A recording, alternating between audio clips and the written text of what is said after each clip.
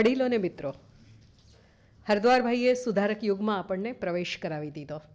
દલપતરામ અને નર્મદના કાવ્યો. મને ખબર નથી કાલે તમારામાંથી કેટલા અહીંયા બેઠા હતા, હું તો નહોતી જ. તો કાલે જે યુગની વાત થઈ હતી એ મધ્યકાળનો યુગ હતો.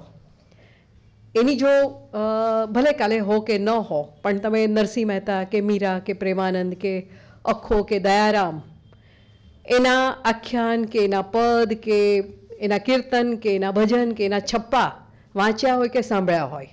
અને એની તુલનામાં આજે જે દલપતરામ અને નર્મદના કાવ્યો આવ્યા, તો તમે જોશો કે બંનેની વચ્ચે તફાવત છે. પેલું ધર્મ કેન્દ્રી સાહિત્ય હતું. એ સાહિત્યનું હસ્તલિખિત રૂપ આપણને ક્યાંય મળ્યું નથી. એ સાહિત્ય પરલોકને સુધારવાની ઈચ્છાથી લખાયું હતું. ત્યાં કવિની પોતાની ઉર્મી બહુ ઓછી આવી છે. એણે સમૂહની વાત વધારે કરી છે. અને બાપાની પીપર અઢારસો ને પિસ્તાળીસમાં પહેલું જે આપણું અર્વાચીન કાવ્ય લખાયું, ત્યાં આગળથી આપણે જેને કહીએ છીએ આપણો સુધારક યુગ શરૂ થયો. તો ત્યાંથી કવિની અંગત પોતીકી ઉર્મી કાવ્યની અંદર આવવાની શરૂ થઈ અને ત્યાંથી સુધારક યુગ શરૂ થાય છે. મારે વાત સુધારક યુગ અને એના પ્રતિનિધિ સર્જક નવલરામ બંનેની વાત કરવાની છે. તો મારી વાતને હું બે ભાગમાં વહેંચવાની છું. પહેલાં હું સુધારક યુગ વિશે વાત કરીશ અને પછી નવલરામ, કવિ તરીકે વિવેચક તરીકે, પત્રકાર તરીકે, નાટ્યકાર તરીકે, અનુવાદક તરીકે, સંશોધક અને સંપાદક તરીકે. અને જેમ ગુજરાતની વાત કરીએ એવી રીતે ગુજરાતી ભાષાના ચિંતા કરવાવાળા એક વિચારક તરીકે પણ. એના વ્યક્તિત્વના જે બધા નોખા નોખા પાસાઓ છે, એની પણ આપણે વાત કરી લઈશું. પહેલી વાત સુધારક યુગ. કેમ એને સુધારક યુગ નામ અપાયું? અથવા તો અર્વાચીન યુગના શ્રી ગણેશ ત્યાંથી કેમ થયા? એની વાત કરવી હોય તો થોડા મારે તમને પાછળ પણ લઈ જવા પડે. જે ઇતિહાસથી તમે બધા જ પરિચિત છો. આપણને ખબર છે કે આપણો જે મધ્યકાળનો તબક્કો હતો, એ મધ્યકાળનો તબક્કો અનેક રાજાઓ એનું રાજ ચાલતું હતું. આંતરિક કલે આંતરિક કુસંપ, વારંવાર એકબીજા ઉપર થતા આક્રમણો, શિક્ષણ લગભગ નહિવત પરિસ્થિતિમાં હતું. સ્ત્રીઓને જે વારંવાર આક્રમણ થતા હતા, એને કારણે એની જે અસલામતી હતી, એટલે કેટલા બધા કુરિવાજો એને કારણે જન્મ્યા હતા. બાળ લગ્ન થતા હતા. દીકરી વિધવા થાય, ભલે આઠ જ વર્ષની હોય કે નવ વર્ષની હોય, તો એને સતી થવાની ફરજ પાડવામાં આવતી હતી અથવા તો જિંદગી આખી એણે ઘરની બહાર નહોતું નીકળવાનું, માથાના વાળ કાપી નાખવામાં આવતા હતા. એવા વસ્ત્ર પહેરવાના હતા કે જેને કારણે કોઈનું ધ્યાન એની તરફ ખેંચાય નહીં. અને એટલી બોજારૂપ લાગતી હતી કે એમાંથી દીકરીને દૂધ પીતી કરવાનો રિવાજ જન્મ્યો હતો. આ બધી પરિસ્થિતિમાંથી આપણે પસાર થતા હતા. અને એ વખતે જે સંતો હતા આધ્યાત્મિક કવિઓ હતા, એ લોકોએ પોતાના સાહિત્યથી પ્રજાને એક કરવાનું, પ્રજાને જોડી રાખવાનું કામ કર્યું હતું. હજી પ્રેસ આપણે ત્યાં આવ્યું નહોતું. એને કારણે બધું જ સાહિત્ય મૌખિક, કંઠસ્થ પરંપરામાં ચાલતું હતું. અનેક અંધશ્રદ્ધાઓ, અનેક કુરિવાજો એ બધાની વચ્ચે બેઠેલો આ સમાજ, નરસિંહ કે મીરા કે અખા કે જ્ઞાનમાર્ગી સંપ્રદાયના આપણા કવિઓ હતા, એમની રચનાઓથી થોડું જીવંતતાનો અનુભવ કરતો હતો. ભારતમાં પહેલીવાર પરદેશી આક્રમણ થયું હોય એવું નહોતું બન્યું. અઢી ત્રણ હજાર વર્ષથી આપણે ત્યાં વારંવાર પરદેશીઓ આવતા રહ્યા છે. કેટલાક આવ્યા છે, લૂંટીને જતા રહ્યા છે. કેટલાક આપણે ત્યાં આશ્રિત તરીકે આવ્યા અને દૂધમાં જેમ સાકર ભળે એવી રીતે ભળીને રહી ગયા. દાખલા તરીકે પારસીઓ આપણે ત્યાં બહારથી આવ્યા. પણ આપણને ક્યારેય એ પારકા હોય એવા નથી લાગ્યા. કેટલાક એવા આવ્યા કે હુમલો કરવા માટે, કે આક્રમણ માટે, કે લૂંટવા માટે આવ્યા અને પછી એમને અનુકૂળ આવ્યું. તો ભારતને પોતાનો દેશ બનાવીને રહી ગયા. મોટાભાગના જે ઇસ્લામી વંશ આવ્યા એ મોગલ વંશ હોય કે લોધી વંશ હોય કે ગુલામ વંશ હોય, એ બધાએ પછી ભારતમાં સ્થિર થવાનું સ્વીકાર્યું. પણ આ બધા પરદેશીઓ એવા હતા કે જે લોકો આવ્યા ને, તો એણે ભારતીય સમાજમાં બહુ એવો મોટો ખળભળાટ નહોતો મચાવી દીધો. એ લોકોએ ક્યાં તો ભારતની જે સામાજિક વ્યવસ્થા હતી એની સાથે ગોઠવાઈ જવાનું સ્વીકારેલું અથવા ધીમે ધીમે કેટલાક પરિવર્તન કર્યા હતા. પોતાની સાથે કેટલીક નવી વસ્તુઓ લાવ્યા હતા. એ એમણે અહીંયા આપી, અહીંયાની વસ્તુ એમણે સ્વીકારી. આપણી ભાષામાં તમે જોશો તો કેટલા બધા ફારસી શબ્દો છે. નરસિંહના પદમાં પણ આપણને મળે છે. તો જે પણ આવ્યા બહારથી એ બધા વેપારી તરીકે આવ્યા હોય કે આક્રમણકાર તરીકે આવ્યા હોય, એ લોકો ભારતમાં ભળીને રહી ગયા હતા. પણ આ પહેલી એવી પ્રજા હતી, અંગ્રેજ, કે જે વેપારી તરીકે આવી હતી. અને વેપારી તરીકે આવ્યા પછી ધીમે ધીમે ધીમે શાસક તરીકે એમણે પોતાના પગ ફેલાવવાના શરૂ કર્યા હતા. આપણે એના ઇતિહાસમાં અત્યારે બહુ નથી જતા, પણ એની વાત મારે એટલે કરવી છે કે સુધારક યુગ સુધી તમને લઈ જવા હોય તો મારે એની વાત કરવી પડે. આ પહેલી એવી પ્રજા હતી કે જેણે ભારતની અંદર ભળવાનું પસંદ નથી કર્યું. એણે પોતાની જાતને હંમેશા ઊંચી ગણી. સુપ્રીમ જેને આપણે કહીએ, એ રીતે એ લોકો હંમેશા રહ્યા. વેપારી તરીકે હતા ત્યારે પણ અને શાસક બન્યા ત્યારે પણ. એટલે બળવંતરાય, કલ્યાણરાય ઠાકોરે એને માટે ગોરા બ્રાહ્મણો એવો શબ્દ વાપર્યો છે. આપણી જે સમાજ વ્યવસ્થામાં બ્રાહ્મણોને આપણે સૌથી ઊંચા ગણતા હતા, તો આ લોકો બ્રાહ્મણો, પાછા ગોરા બ્રાહ્મણો. એમણે આખા ભારતીય સમાજને પોતાના કરતાં નીચલી કક્ષાએ મૂક્યો. બીજી વસ્તુ એ બની કે એ લોકો પોતાની સાથે અનેક નવી વસ્તુ લઈને આવ્યા. યુરોપમાં એ દરમિયાન ઔદ્યોગિક ક્રાંતિ થઈ ચૂકી હતી. એટલે યુરોપમાં જે નવી શોધખોળ થઈ હતી એ બધી જ અંગ્રેજોના આગમન સાથે આપણે ત્યાં આવી. રેલવે પહેલી વખત આપણે ત્યાં આવી. તારની વ્યવસ્થા અંગ્રેજોના આગમન સાથે આપણે ત્યાં શરૂ થઈ. પહેલી વખત ભારતીય સમાજે, હું અત્યારે ગુજરાતની સાથે ભારતીય સમાજને પણ આવરી લઉં છું. પહેલી વખત ભારતીય સમાજે એવી રાજકીય વ્યવસ્થા જોઈ કે જેમાં રાજા કેન્દ્ર સ્થાને ન હોય પણ મનુષ્ય. માણસ કેન્દ્ર સ્થાને હોય. કારણ કે ઇંગ્લેન્ડ તો મૂળભૂત રીતે લોકશાહી પદ્ધતિનો દેશ હતો. ભલે રાણી કે રાજા જોર્જ પંચમ હોય કે રાણી વિક્ટોરિયા હોય, કોઈ પણ હોય, પણ એનું જે શાસન હતું એ તો પ્રજાના હાથમાં હતું હાઉસ ઓફ કોમન ને હાઉસ ઓફ લોર્ડ્સનું બનેલું. તો પહેલી વખત પ્રજાની સમાનતાની વાત, નવલરામે એ માટે શબ્દ વાપર્યો છે ઇક્વલ ઇક્વિલિટી ઓફ મેન માણસને સમાન ગણવાની વાત પહેલી વખત ભારતીય સમાજે સાંભળી. આપણે તો હંમેશા રાજાઓને દેવતાઓના અવતાર તરીકે, એમના વંશજ તરીકે સ્વીકાર્યા હતા. ભારતીય સમાજમાં જે વફાદારી હતી, એ માતૃભૂમિ માટે ઓછી હતી. એ વતન માટે ઓછી હતી, એ રાજા માટે હતી. જે યુદ્ધો લડાતા હતા, એ રાજા માટે લડાતા હતા. પણ પોતાના દેશ માટે નહોતા લડાતા. બીજી વસ્તુ એ બની કે, પહેલી વખત ભારતમાં એવું બન્યું કે આખો દેશ, આખું હિન્દુસ્તાન એ વખતે જે શબ્દ વપરાતો હતો, એક છત્ર નીચે આવ્યું. અંગ્રેજોને કારણે. સત્તરસો સત્તાવનનું જે પ્લાસીનું યુદ્ધ થયું અને એમાં પ્લાસીના નવાબ હારી ગયા અને પછી રણજીતસિંહે પંજાબના રાજાએ જે આગાહી કરી હતી, સબ લાલ હો જાયેગા આવી રીતે ભારતનો આખો નકશો લાલ રંગે રંગાવા માંડ્યો, તો માત્ર એક છત્ર હેઠળ હિન્દુસ્તાન આવ્યું. અત્યાર સુધી આવું નહોતું બન્યું. મોગલ શાસનમાં પણ નહીં અને એની પહેલાં પણ નહીં. પ્રયત્ન થયા હતા હિન્દુસ્તાનને એક છત્ર નીચે લાવવાના પણ એ પ્રયત્ન ક્યારેય સફળ નહોતા બન્યા. તો પહેલી વખત એવું બન્યું કે એક છત્ર નીચે શાસન આવ્યું. રેલવેની જે વ્યવસ્થા આવી એ રેલવે પ્રજાને અને જુદી જુદી ભાષા બોલતા હિન્દુસ્તાનના જુદા જુદા રાજ્યને, જુદી જુદી જાતિના લોકોને, જુદા જુદા ધર્મના લોકોને જોડવાનું કામ કર્યું. પણ આ બધું એ વખતે સ્વીકારવાનું સહેલું નહોતું. હું જ્યાંથી આવું છું એ ભરૂચની જે ઘટનાની વાત કરું, અઢારસો ને ચોસઠમાં રેલવે શરૂ થઈ. અંકલેશ્વરથી ભરૂચ રેલવે આવવાની. અને આમે એ ઘટના બહુ જાણીતી છે કે નર્મદા ઉપર એટલી બધી વખત પુલ બંધાતા હતા કે જેટલી વાર પુલ બંધાય અને નર્મદાનું પૂર આવે, ઘોડા પૂર આવે અને પુલને તાણતું જાય. એટલે એવું કહેવાતું કે નર્મદાને ક્યારેય નાથી નથી શકાતી. પણ અંગ્રેજોએ નર્મદા ઉપર પુલ બાંધ્યો અને પુલ બાંધ્યો તો વચમાં વાત કરી લઉં, એ પુલ જે અત્યારે પણ ટકી રહ્યા છે ગોલ્ડન બ્રિજ અને રેલવેનો સિલ્વર બ્રિજ એના પાયામાં આપણા નવલરામનો બહુ જ મોટો ફાળો છે. એટલી બધી વખત એ બંને પુલ બન્યા કે એવું કહેવાતું કે સોનાથી બાંધ્યા હોત ને તો જેટલો ખર્ચો થાત, એટલી વાર આ પુલ તૂટ્યા છે. સાત વખત બંને પુલ તણાયા છે. અને એ વખતના ત્યાંના જે સિવિલ એન્જિનિયર હતા, મિસ્ટર રિચમન્ડ એમણે નવલરામને કહેલું કે તમે સમીકરણના, ઘન સમીકરણના ને ભૂમિતિના ખાંચો, તો મને માપ કાઢી આપો. કે આ જે થાંભલાઓ છે, એની પહોળાઈ કેટલી હોવી જોઈએ, એની ઊંડાઈ કેટલી હોવી જોઈએ, એની વચ્ચે અંતર કેટલું રહેવું જોઈએ કે નર્મદાના પાણીના બળની સામે ટકી જાય. અને નવલરામે માપ કાઢી આપ્યું હતું. પરિણામે એ થાંભલાઓ ટક્યા હતા અને મિસ્ટર રિચમન્ડે નવલરામને એક એપ્રિસિએશન સર્ટિફિકેટ તો આપ્યું. પણ એની સાથે એમણે કહ્યું કે હું તમારા નામની ભલામણ કરું, તમને સરકારી નોકરી મળે એ માટેની. પણ નવલરામે સ્વીકારી નહોતી. આપણે વાત પછી કરવાના છીએ, પણ વચ્ચે આ પુલની વાત આવી એટલે હું કહું. તો આ જે પુલ છે, અંકલેશ્વરને ભરૂચને જોડવાનું કામ કરે, એના ઉપરથી પહેલી વખત રેલગાડી આવવાની હતી. અંકલેશ્વરના છેડે પણ લોકો, પુલના છેડે, ભરૂચના છેડે પણ લોકો એકઠા થયા અને બધા એ જ બૂમ પાડે કે નર્મદામાં સત બતાવશે, ટ્રેન ચાલી નહીં શકે. અંકલેશ્વરથી ટ્રેન ઉપડી. અધવચ્ચે પુલ પર પહોંચીને કોઈ ટેકનિકલ કારણથી ટ્રેન બંધ પડી ગઈ. બંને છેડે ચિચિયારીઓને પોકારો કે નર્મદા મૈયાએ સત બતાવ્યું જોયું ગાડી અટકી ગઈ. પણ એ ડ્રાઈવરે તો ચાલુ કર્યું એન્જિન અને ભરૂચના છેડે આવી સ્ટેશનની નીચે અત્યારે પણ ધોળીકુઈ બજાર છે, જ્યાં આગળ ફૂલવાડ, ફૂલવાળાઓ બેસે છે.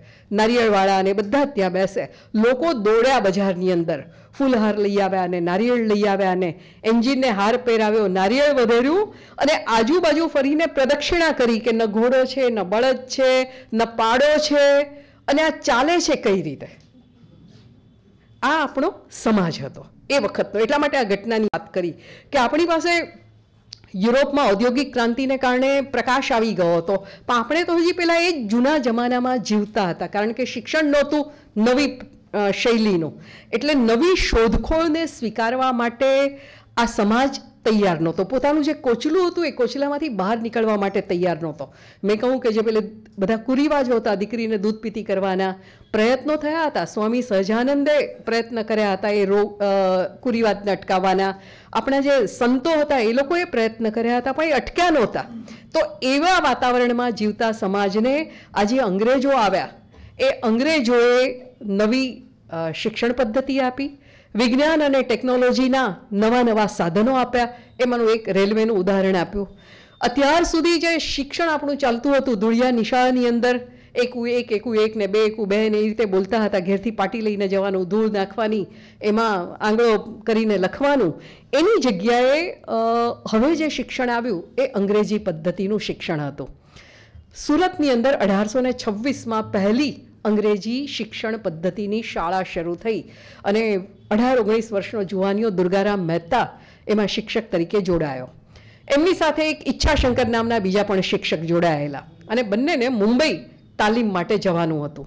અને ત્યાં એમને શીખવવામાં આવ્યું. જે વિજ્ઞાનના, ખગોળ વિજ્ઞાનની નવી શોધ થઈ હતી એ બધી જ એ લોકોને આપવામાં આવી અને કહેવામાં આવ્યું કે પૃથ્વી ગોળ છે, પોતાની ધરી ઉપર ફરે છે અને સૂર્યની આસપાસ ફરે છે. આ જ્ઞાન તમારી શાળામાં તમારે બાળકોને આપવાનું. એટલે જે ઘણું બધું શીખવાયું એમાંનું એક આ પણ હતું. દુર્ગારામે તો બહુ નિષ્ઠાપૂર્વક વિદ્યાર્થીઓને પ્રયોગ કરીને બતાવ્યું કે કઈ રીતે ફરે છે ને એ બધું જ. પણ પેલા ઈચ્છાશંકરે પોતાની શાળાના વિદ્યાર્થીઓને કહ્યું કે પેલો ઇન્સ્પેક્ટર પૂછવા આવે ને, ત્યારે આવું કહેવાનું કે પૃથ્વી ગોળ છે અને સૂર્યની આસપાસ ફરે છે? ખરેખર એવું નથી. પૃથ્વી રકાબી જેવી છે. જો ગોળ હોય ને ગોળ ગોળ ફરતી હોય તો આપણને ચક્કર આવે ને આપણે પડી ન જઈએ. એક શિક્ષક પોતાના વિદ્યાર્થીઓને આ શીખવતો હતો. અંગ્રેજી પદ્ધતિની તાલીમ મેળવ્યા પછી પણ આ વાતાવરણની અંદર અંગ્રેજોએ જે ફેરફાર કરવાના શરૂ કર્યા. રાજકીય પરિસ્થિતિમાં ફેરફાર થયા. રાજકીય પદ્ધતિ બદલાઈ ગઈ. રાજાની જગ્યાએ પેલા જે પ્રાંત અધિકારી હોય એ જે તે પ્રાંતના રાજા બન્યા. અત્યાર સુધી દરેક વિસ્તારની જુદી જુદી ભાષા હતી. એની જગ્યાએ વ્યવસ્થાની એક ભાષા ઊભી થઈ, અંગ્રેજી ભાષા. કાયદા અને કાનૂનની પરિસ્થિતિ આવી. ફરી પાછું ભરૂચનું જ હું ઉદાહરણ આપું, એવું ઘણી બધી જગ્યાએ બન્યું હતું. ભરૂચમાં નવાબ અંગ્રેજોને હરાવીને ભરૂચમાં પાછા ગાદીએ બેઠા અને પછી એ લોકોની વચ્ચે સુલે થઈ એટલે ભરૂચ પાછું અંગ્રેજોને અંગ્રેજોએ નવાબને આપવાનું આવ્યું. ત્યારે ભરૂચની પ્રજાએ માનતા માનેલી કે નવાબ પાછા જાય અને અંગ્રેજો જ ભરૂચમાં ગાદી ઉપર રહે તો બહુ સારું. આ પરિસ્થિતિ હતી એટલા માટે થઈને કે અંગ્રેજોએ આવ્યા પછી એક પ્રકારની શાંતિનો અનુભવ કરાવ્યો હતો. રાજકીય રીતે. પેલા જે આંતરિક કુસંપ હતો એ કુસંપમાંથી અંગ્રેજી શાસને ચારે બાજુ શાંતિ પ્રસરાવી. આપણને ગમે કે ન ગમે, પણ એની જે હકીકત છે, એ હકીકત આપણે સ્વીકારવી પડે. આર્થિક રીતે ભારતીય અર્થતંત્ર તૂટી ગયું. બધા જ ગ્રામોદ્યોગો કુટીર ઉદ્યોગો બધા તૂટ્યા. અહીંયાનો જે સરસ માલ તૈયાર થતો હતો, એ કુંભારનો હોય કે વણકરનો હોય, એ બધું તૂટ્યું. અહીંયાનો કાચો માલ ઇંગ્લેન્ડ જતો હતો અને ત્યાંથી તૈયાર માલ થઈને પાછો આવતો હતો. અને આપણને બમણી કિંમતે ત્રણ ત્રણ ગણી કિંમતે, ચાર ગણી કિંમતે લેવું પડતું હતું. એક એક, માત્ર એક ઉદાહરણ આપી દઉં. અઢારસો ને છાસઠની અંદર અંગ્રેજ સલ્તનતે એ વખતે એક નિયમ બહાર પાડ્યો. જેની વાત હમણાં લાલુભાઈએ પણ સાંભળી છે, મેં જ્ઞાન સત્રમાં કહી હતી કે તમારે સરકારી કચેરીમાં જવું હોય કોઈ કામ માટે, તો પગમાં જો વિલાયતી ઢબના બૂટ પહેર્યા હોય, એટલે કે બહારથી આવેલા, તો પહેરીને જવાની છૂટ. પણ તમે દેશી બનાવટના જૂતા પહેર્યા હોય, તો તમારે બહાર કાઢીને જવાનું. શેને માટે થઈને દેશી બનાવટની વસ્તુઓને પ્રોત્સાહન ન મળે અને બહારની વસ્તુઓ વહેંચાય એ માટે. તો અંગ્રેજો કંઈ આપણા કોઈ શુભેચ્છક તો હતા નહીં, એ તો શાસન કરવા અને પૈસા લેવા માટે આવ્યા હતા. તો એમણે અર્થતંત્રને તોડી નાખ્યું. પણ શિક્ષણ જે નવું આવ્યું, એ નવું શિક્ષણ લઈને તૈયાર થયેલા જે પંદર વીસ વર્ષ પછી, અઢારસો છવ્વીસમાં સ્કૂલ શરૂ થઈ અને પંદર વીસ વર્ષ પછી એ નિશાળમાંથી જે વિદ્યાર્થીઓ નીકળવાના શરૂ થયા, જે યુવાનો નીકળવાના શરૂ થયા, એ લોકોએ આ બદલાતા સમયની સાથે પોતાની જાતને અને પોતાની આસપાસના સમાજને બદલવાનું શરૂ કર્યું. અઢારસો ને ચાળીસમાં દુર્ગારામ મહેતા જે પહેલા શિક્ષક બન્યા હતા એમણે માનવ ધર્મ સભા નામની એક સ્થાપના, સંસ્થાની સ્થાપના કરી, જેમાં તમામ મનુષ્ય એક સરખા છે એની તો વાત કરી. સાથે એમણે બાળ લગ્નનો વિરોધ કર્યો, એમણે વિધવા વિવાહને ઉત્તેજન આપવાની વાત કરી અને સૌથી મોટી વાત એમણે એ કરી કે આપણે જે ધર્મને નામે કેટલા બધા કુરિવાજોમાં અને અંધશ્રદ્ધામાં ડૂબી ગયા હતા, એની સામે એમણે પડકાર ફેંક્યો. હમણાં જે નર્મદનું કાવ્ય વંચાયું, એ નર્મદે પોતાની આત્મકથામાં નોંધ્યું છે કે હું આઠ નવ વર્ષનો હતો અને દુર્ગારામ મહેતાએ ગુજરાતભરના ભુવાઓને પડકાર ફેંકેલો કે આ દિવસે હું સુરતના ચોક બજારમાં ઊભો રહીશ, આખો દિવસ તમે આવો ને તમારા બધા મંત્ર તંત્રનો મારી ઉપર પ્રયોગ કરો. મને બકરો બનાવો કે ઘેટો બનાવો કે જે બનાવવું એ બનાવો. અને ગુજરાતભરમાંથી ભુવાઓ આવેલા દુર્ગારામ મહેતા ઉપર અનેક પ્રયોગો થયા. કશું થયું નહીં. અને પેલા ભુવાઓને ડર લાગ્યો કે આપણી સત્તા હાથમાંથી જતી રહેશે. એટલે દુર્ગારામને મારવાનું શરૂ કર્યું અને દુર્ગારામ ત્યાંથી ભાગેલા.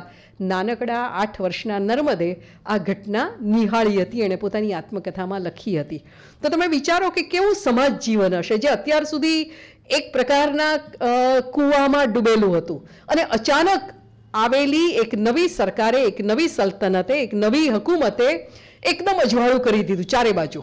શિક્ષણની વાતમાં અજવાળું રાજકીય પરિસ્થિતિની વાતમાં અજવાળું, અર્થતંત્રની વાતમાં અજવાળું, સામાજિક પરિસ્થિતિ બધી જ બદલાવા માંડી.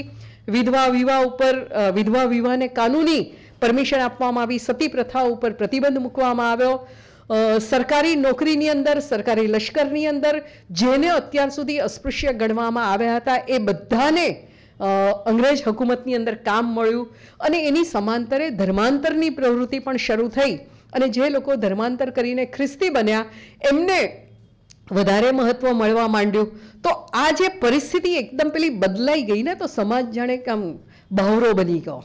કોરોના વખતે આપણે જે પરિસ્થિતિમાં મુકાયા હતા ને, એવી જ પરિસ્થિતિ એ વખતે થઈ હતી. અચાનક આપણને ઘરમાં પૂરી દેવામાં આવ્યા હતા, આપણી બધી જ, આપણો કમ્ફર્ટ ઝોન જાણે જૂટવાઈ ગયો હતો. એવી જ પરિસ્થિતિ એ વખતે થઈ હતી.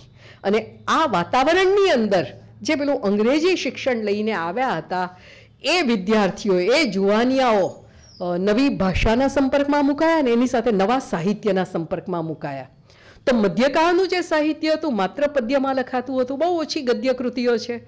ધર્મકેન્દ્રી સાહિત્ય હતું, એ, એનું કોઈ મુદ્રણ, મુદ્રિત રૂપ નહોતું મળતું, એટલે કે હસ્તલિખિત સાહિત્ય હતું મોટે ભાગે અશિક્ષિત લોકો દ્વારા જ એ લખાતું હતું ને કંઠોપકંઠ સચવાતું હતું. પણ હવે જે સાહિત્ય લખાવાનું શરૂ થયું, અઢારસો ને ચાળીસ પછી. પણ પહેલી કૃતિ તરીકે આપણે અઢારસો પિસ્તાળીસમાં દલપતરામની બાપાની પેપરને સ્વીકારીએ છીએ. એ જે સાહિત્ય શરૂ થયું, એ સાહિત્યમાં પહેલી વખત એવું બન્યું કે વ્યક્તિની પોતાની અંગત ઉર્મી એમાં આવવાની શરૂ થઈ. જે મધ્યકાળના સાહિત્યમાં તમને નરસિંહ કે મીરાસિંહ ભાગ્યે જ મળે છે. પ્રેમાનંદ આટલો ઉત્તમ કવિ, પણ પ્રેમાનંદની અંગત જિંદગીમાં શું થયું હશે? એણે કેવું દુઃખ અનુભવ્યું? કે એણે કેવું સુખ અનુભવ્યું? કે વડોદરા છોડીને નંદરબાર ગયો તો એને ડાયસ્પોરા ફીલ થયું હશે કે નહીં? આપણને નથી ખબર, કારણ કે એણે પોતાની ઉર્મિની કંઈ વાત જ નથી કરી. પણ અંગ્રેજી સાહિત્યને શિક્ષણનો પ્રભાવ હતો કે હવેનો જે સર્જક હતો એ પોતાની ઉર્મી, પોતાની સંવેદના એ વ્યક્ત કરતો થયો. બીજી વસ્તુ એ બની કે અંગ્રેજી સાહિત્યના પ્રભાવને કારણે અહીંયા જે અધિકારીઓ આવ્યા હતા એ પોતાની સાથે કેટલુંક અંગ્રેજી સાહિત્ય પણ લાવેલા. અને એટલે નવા નવા સ્વરૂપોનો આપણા સર્જકોને પરિચય થયો. તમે મધ્યકાળનું સાહિત્ય જુઓ તો એમાં નવલકથા નથી. ત્યાં આગળ ભવાઈ છે, પણ નાટક નથી. ત્યાં આગળ જીવનકથા નથી, ત્યાં આગળ નિબંધ નથી, ત્યાં આગળ એકાંકી નથી. આપણે અત્યારે જેને ટૂંકી વાર્તા કહીએ છીએ, એવી ગદ્યમાં લખાયેલી વાર્તાઓ નથી. પદ્ય વાર્તા છે, પણ ગદ્યમાં લખાયેલી વાર્તા નથી. જીવનકથા, આત્મકથા કશું જ નથી. પણ આ અંગ્રેજી સાહિત્ય અને એના શાસનનો પ્રભાવ હતો કે આપણા જુવાનિયાઓ આ બધું વાંચતા થયા અને અઢારસો પિસ્તાળીસ પછી આ બધું જ લખાવાનું શરૂ થયું. ગુજરાતી ભાષાની પહેલી આત્મકથા મારી હકીકત આ જમાનામાં લખાઈ. ગુજરાતી ભાષામાં લખાયેલા પહેલા પ્રવાસ વર્ણનો પારસી પ્રવાસીઓએ કરેલા હોય કે કરસનદાસ મૂળજી કે મહિપતરામ નીલકંઠ, એ લોકોએ જે ઇંગ્લેન્ડની મુસાફરીનું વર્ણન કર્યું, એ આ સમયગાળામાં લખાયા. ગુજરાતી ભાષાનો પહેલો નિબંધ, દલપતરામે જે અઢારસો ને અડતાલીસમાં લખ્યો, ભૂત નિબંધ ને જ્ઞાતિ નિબંધ, એ પણ આ ગાળામાં લખાયો. ગુજરાતી ભાષામાં પહેલું વ્યાખ્યાન આ ગાળામાં, અઢારસો ને ઓગણપચાસમાં નર્મદે મુંબઈની એલ્ફિન્સ્ટન કોલેજમાં પરસ્પર બુદ્ધિવર્ધક જુવાનિયાઓની મંડળીની સ્થાપના કરી અને એમાં પહેલું જ વ્યાખ્યાન આપ્યું, મંડળી મળવાથી થતા લાભ અઢારસો ને ઓગણપચાસમાં. ત્યાં એણે કહ્યું કે આપણે કેમ પાછળ પડી ગયા છીએ? તો આપણે એકબીજાને મળતા નથી. આપણે એકબીજાની સાથે વિચારોનું આદાન પ્રદાન કરતા નથી. એટલે આપણે એકબીજાને મળવું જોઈએ, વાતો કરવી જોઈએ, આપણા વિચારો એકબીજાની સાથે વહેંચવા જોઈએ તો આપણે પણ આ લોકોની સાથે આગળ વધી શકીએ. આ નર્મદે પોતાના પહેલા વ્યાખ્યાનની અંદર આ વાત કરી હતી. ગુજરાતી ભાષાનું પહેલું કરુણ પ્રશસ્તિ કાવ્ય, શોક કાવ્ય, કોઈના મૃત્યુ પાછળ જે લખાય આપણે ત્યાં પરંપરા ખરી, રાજ્યા ગવાય મરશિયા ગવાય પણ એ તો સામાન્ય હોય, કોઈના પણ મૃત્યુ પાછળ એક સરખા જ ગવાય. પણ કોઈ એક જ વ્યક્તિના મૃત્યુને નિમિત્તે જે મનમાં શોક જાગ્યો હોય, જે કરુણ ભાવ જાગ્યો હોય, એનું કાવ્યમાં નિરૂપણ થાય. તો એ કરુણ પ્રશસ્તિ કાવ્ય કે શોક પ્રશસ્તિ કાવ્ય ગુજરાતીમાં પહેલું લખાયું. દલપતરામ જેનો આપણે બાપાની પીપરની વાત કરી, ફાર્બસ વીર નામનું, એલેક્ઝાન્ડર ફાર્બસ નામના એમના જે માર્ગદર્શક હતા, એના મૃત્યુ પછી એમણે લખેલું એ કાવ્ય. ગુજરાતી ભાષામાં ઇતિહાસ સભાનપણે પહેલી વાર લખાયો, નર્મદ લઈ આવ્યા રાજ્યરંગ ગુજરાતી ભાષાનો પહેલો શબ્દકોશ આ સમયગાળામાં આવ્યો, નર્મકોશ. એ પણ નર્મદે કર્યો. દલપતરામે લક્ષ્મી નાટક પહેલું લખ્યું, પણ એ મૌલિક નાટક નહોતું. ભટ્ટનું ભોપાળું નવલરામ લખે છે, આપણે જેની વાત કરવાના છીએ, એ પણ મૌલિક નાટક નથી. મોલિયરના ફ્રેન્ચ નાટકનું અંગ્રેજી અનુવાદ મોક ડોક્ટર, એના પરથી નવલરામે ગુજરાતીમાં ભટ્ટનું ભોપાળું કર્યું. પછી એમણે નાટક લખ્યું વીરમતી. પણ આ વીરમતી લખાયું એ એમણે રાસમાળામાંથી કથા વસ્તુ લઈને જગદેવ પરમારની શૌર્ય અને પ્રેમની કથાનું લખેલું. પણ એ પહેલાં રણછોડભાઈ ઉદયરામ દવે લીલાવતી દુઃખદર્શક નાટક લખી ચૂક્યા હતા અને મુંબઈમાં ભજવાઈ ગયું હતું. જય વિજય નાટક પણ એમણે જય સોરી જય કુમારી વિજય નાટક પણ એમણે લખ્યું અને એ ભજવાયું હતું. એ પહેલાં પારસીઓએ અઢારસો ને પચાસથી આપણે ત્યાં ગુજરાતી રંગભૂમિને જીવતી કરવાનો પ્રયત્ન કર્યો હતો. પણ એ બધા જ નાટકો જે હતા ને, એ શેક્સપિયરના ને બીજા બધા જે અંગ્રેજી નાટક હતા, એના ગુજરાતી રૂપાંતર થતા હતા. પણ આ બધું જ પહેલી વખત આવ્યું. પણ જેને આપણે અસલ ગુજરાતી નાટક કહેવું હોય, કે જેમાં ગુજરાતી ફ્લેવર તમને દેખાય છે, એની જે પરંપરા છે, એ પરંપરા પણ એમાં આવી છે, તો એ દલપતરામનું મિથ્યાભિમાન. ભવાઈના કેટલા બધા અંશ લીધા? આખું ગુજરાતી વાતાવરણ. એ સમયનું જે મિથ્યાભિમાની આપણી વૃત્તિ હતી, એ આપણે જેને આજે રંગલા તરીકે ઓળખાવીએ છીએ, એનું પાત્ર આવ્યું. અને માણસને જગાડવાની જે વાત હતી, એ પણ એ નાટકની અંદર આવી. તો આ એ ગાળો હતો કે જેમાં ભલે ઓછા સર્જકો આપણી પાસે આવ્યા, પણ આ બધા જ સર્જકો પ્રજાને જાગૃત કરવાના આશય સાથે.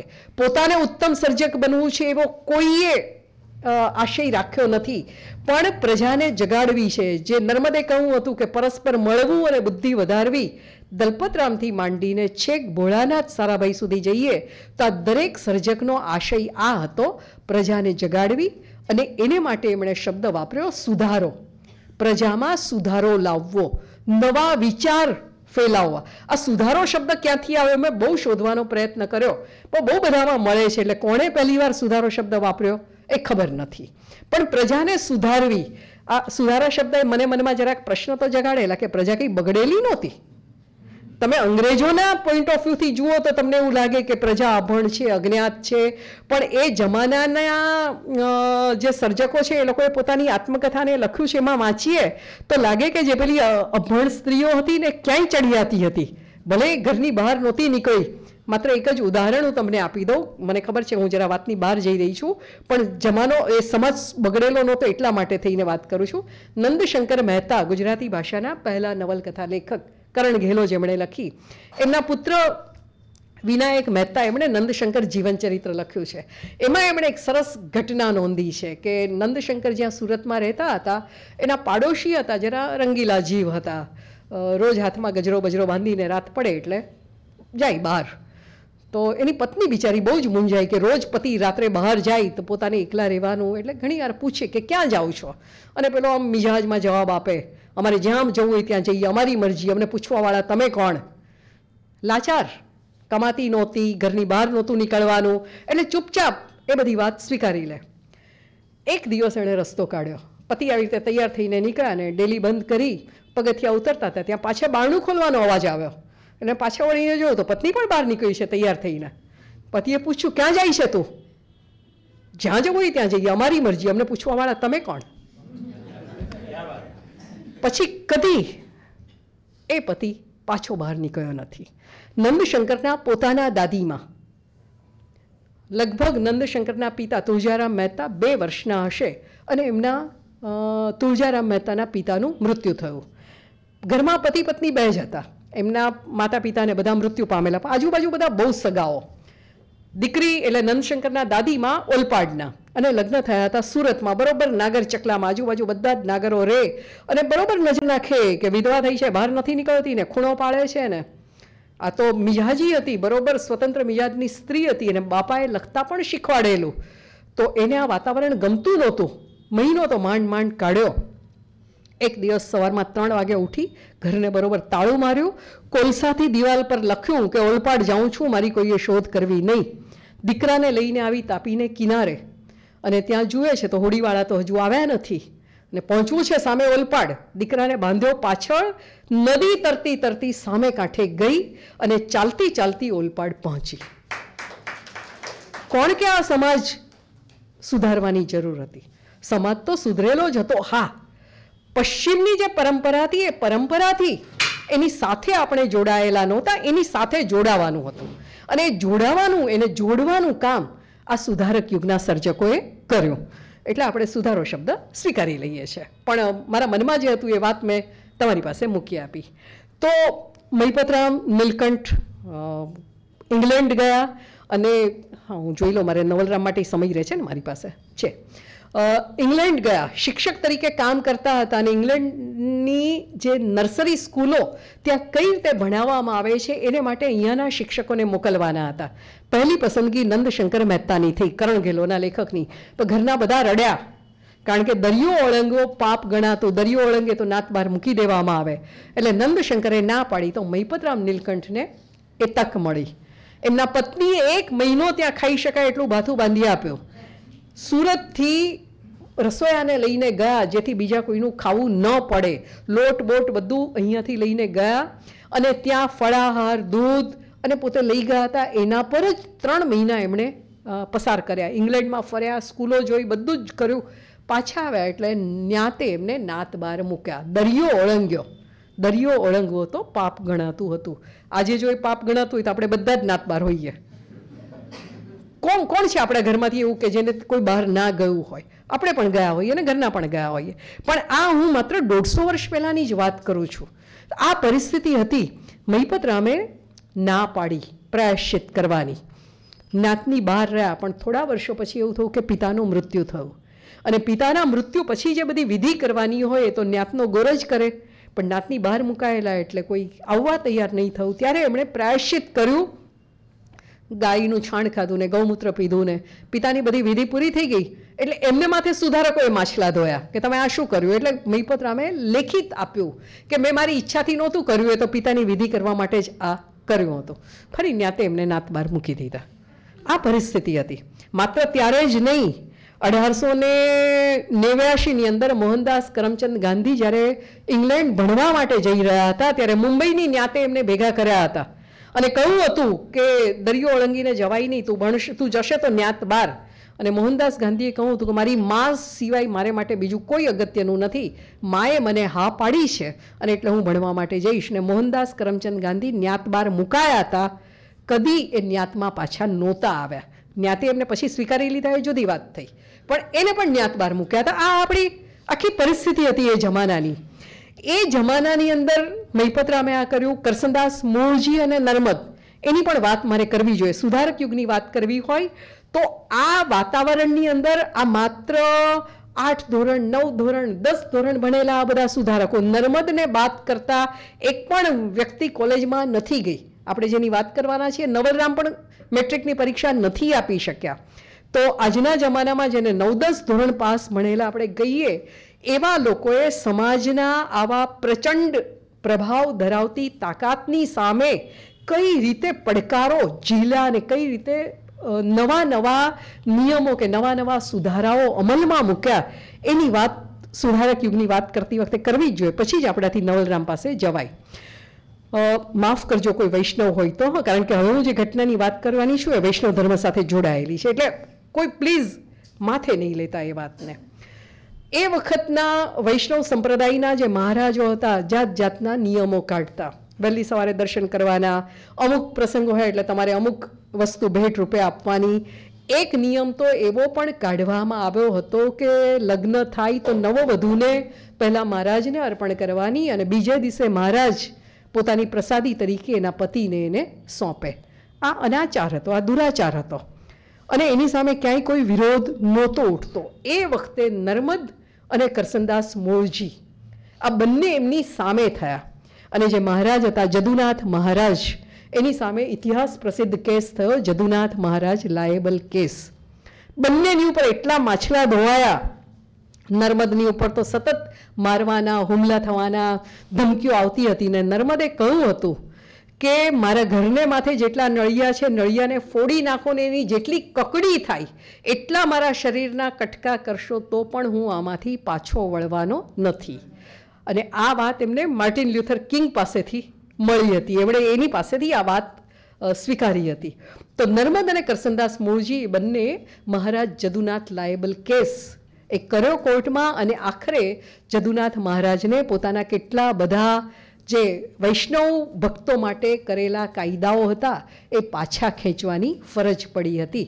સ્વામી આનંદે જે કેટલાક કુળ કથાઓ લખી છે, એમાં એમણે આ ઘટનાનો પરોક્ષ સંકેત આપીને કહું છે કે કેટલા બધા ભાટિયા કુટુંબમાં પછીથી એવા નિયમો આવ્યા હતા કે ઘરની સ્ત્રીઓએ કદી વૈષ્ણવ હવેલીમાં દર્શન કરવા માટે જવું નહીં. એના મૂળમાં આ બધી ઘટનાઓ હતી.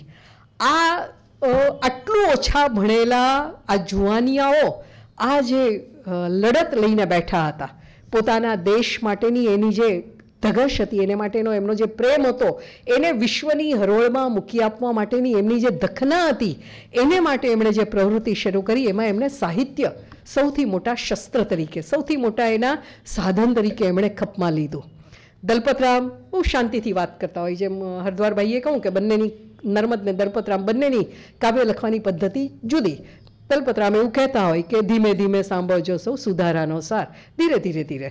હુન્નરખાનની ચડાઈની વાત કરતા હોય, કારખાનાઓ નખાવાની વાત કરતા હોય. હવે મંદિરોની પણ કારખાનાઓ બંધાવો એવી વાત દલપતરામ પોતાની કવિતાની અંદર કરતા હોય. સરસ મજાની વાર્તાઓથી એ આપણા મિથ્યાભિમાન ઉપર કે આપણી આળસ વૃત્તિ ઉપર એ કટાક્ષ કરતા જતા હોય. ને નર્મદને જટ ડોળી નાખો, મંજળા થંભેલા. જલ્દી ડોળી નાખો, જલ્દી આ કરી નાખો, એને બહુ જ ઉતાવળ હતી. એટલે એના સ્વભાવમાં પણ એ હતું. એટલે એણે પોતાના સામયિકને નામ આપેલું દાંડિયો. રાત્રે સૂઈ ગયા હોય તો ચોર ચોરી ન કરે એટલે પેલો દંડો પછાડતો પછાડતો ચોકીદાર નીકળે અને જાગતા રહેજો, જાગતા રહેજોની બૂમ પાડે એમ નર્મદે. પોતે કહું કે હું એવો દાંડિયો છું. એણે પોતાની માટે શબ્દ વાપર્યો, હું સુધારાનો કડખેદ છું. કડખેદ એટલે પહેલી વાર ખેડવાવાળો. અજ્ઞાનતાનું જે પડ બાજી ગયું છે, એને ખેડીને તમારી આગળ સુધારો પહોંચાડવાનું કામ કરું છું. તો દલપતરામ, નર્મદ, નંદશંકર મહેતા, કરણ ઘેલો પહેલી નવલકથા લઈ આવ્યા. રણછોડભાઈ ઉદયરામ દવે, લીલાવતી દુઃખદર્શક નાટક લઈ આવ્યા. કરસનદાસ મૂળજી, જે નર્મદની સાથે તો જોડાયા, પણ સત્યાર્થ પ્રકાશ નામનું એક સામયિક પણ એમણે ચલાવ્યું. બહુ નાની વયમાં એમનું અવસાન થઈ ગયું. ગુજરાતે એમની સ્મૃતિ ક્યાંય નથી જાળવી. પણ તમે માથેરાન જાઓ તો આજની તારીખે પણ માથેરાનની જે મ્યુનિસિપલ લાઇબ્રેરી છે, એનું નામ છે કરસનદાસ મોરજી લાઇબ્રેરી. અને મને માથેરાનનું સૌથી પ્રબળ આકર્ષણ એ લાઇબ્રેરીને કારણે જ છે. એટલા સરસ જૂના પુસ્તકો સચવાયા છે. આ વખતે મને પહેલાં લાઇબ્રેરિયન બેન કહેતા હતા કે તમે આવો છો ત્યારે ગુજરાતી ચોપડીને કોઈ હાથ અડાડે છે. એટલા જૂના ગુજરાતી પુસ્તકો ત્યાં આગળ છે. પણ એ લોકો બહુ સારી રીતે સાચવે છે. એ વાત વચ્ચે કરી લો. તો કરસનદાસ મૂળજી અમદાવાદની અંદર ભોળાનાથ સારાભાઈ, જેમણે પ્રાર્થના સમાજની સ્થાપના કરી. આ બધા આપણા એવા યુગ પુરુષો છે. બહુ જ સભાનતાપૂર્વક હું આ શબ્દ વાપરું છું. કારણ કે ગોવર્ધન રામે જ્યારે નવલરામનું ચરિત્ર લખ્યું, ત્યારે સૌથી છેલ્લો ફકરો એમણે લખ્યો છે કે તું મોટા મોટા માણસોના જીવન ચરિત્ર વાંચવા માટે ટેવાયો હોય તો હે વાચક, તને આ કદાચ નાનું લાગવાની સંભાવના છે. પણ જે નાના હોય ને પોતાના નાના કરતાં એ ક્યાંક ક્યારેક તો મોટા હોય જ છે. તો આ બધા એવા હતા. કે જે પોતાની આસપાસના નાના લોકો કરતાં થોડા મોટા સાબિત થયા, એક યુગને એમણે ઘડવાનો પ્રયત્ન કર્યો.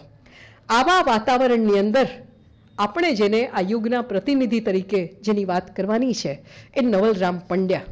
એમનો જન્મ અને એમનો ઉછેર. અઢારસો ને છત્રીસની નવમી માર્ચે સુરતમાં એમનો જન્મ. પિતા લક્ષ્મીરામ પંડ્યા અને માતાનું નામ નંદકોર. એમના પિતા એ જમાનાની અંદર સુરતની એક અનાવિલની પેઢી હતી, એમાં ગુમાસ્તા હતા. એ ત્યારથી પિતાએ નક્કી કરેલું કે દીકરાને પેલું કોઈ કામ નથી કરાવવું, બ્રાહ્મણ વૃત્તિનું કે એનું. પણ દીકરાને ભણાવવાનો છે. એકમાત્ર સંતાન એમના માતા પિતાનું એટલે દીકરાને પહેલાં તો ઘર પાસે ગોવિંદજી મહેતાની દેશી ગામઠી શાળાથી એમાં ભણવા માટે મૂક્યો. ત્યાં આગળ ચારેક વર્ષ ભણ્યા પછી આઠ વર્ષની વયે દુર્ગારામ મહેતાની નિશાળમાં એમને ભણવા માટે મૂકવામાં આવ્યા. પહેલેથી એકાંત પ્રિય એમનો સ્વભાવ. બહુ વાતો કરવાની કોઈની સાથે ટેવ નહીં. ઘેર પણ એકલા બેસી રહે. આકાશમાં જોયા કરે, તારાઓ, સૂર્ય એની ગતિને જોયા કરે. છોકરાઓ રમતા હોય ત્યારે કદી રમવા માટે થઈને જાય નહીં. થોડાક તીખા સ્વભાવના પણ ખરા. સ્વમાન વિશેનો ખ્યાલ જરા વધારે પડતો ઊંચો. એકવાર કોઈ સંબંધીના પુસ્તકને લઈ આવ્યા વાંચવાને, પુસ્તક એમનાથી જરા ફાટ્યું, એ પહેલાં એ ઠપકો આપે, એટલે મનમાં ને મનમાં પ્રતિજ્ઞા લીધી કે એની ચોપડીને કોઈ દિવસ હાથ નહીં અડાડું. પોતાની જાત વિશે જરા એમના ખ્યાલ વધારે ઊંચા હતા નાનપણમાં. તો દુર્ગારામ મહેતાની નિશાળમાં ભણ્યા અને અગિયારમે વર્ષે પહેલા નંબરે પાસ થયા. એટલે ઇનામમાં પાઘડી મળી. બહુ મોટું ગૌરવ ગણાતું. રાજા કોઈને પાઘડી પહેરાવે એટલે એનું સન્માન કર્યું કહેવાય.